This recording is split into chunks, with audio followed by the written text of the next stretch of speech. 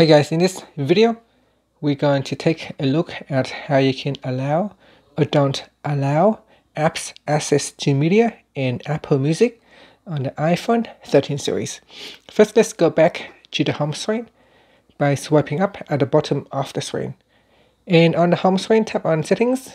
In settings, go down and tap on screen time. Next, go down and tap on content and privacy restrictions. In here, you want to go down and tap on media and Apple Music. From the list in here, you can uh, tap on the toggle button to allow or don't allow apps access to media in Apple Music.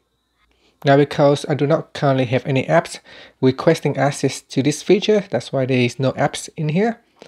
And at the top here, you can also choose allow changes or don't allow changes to the settings below down here.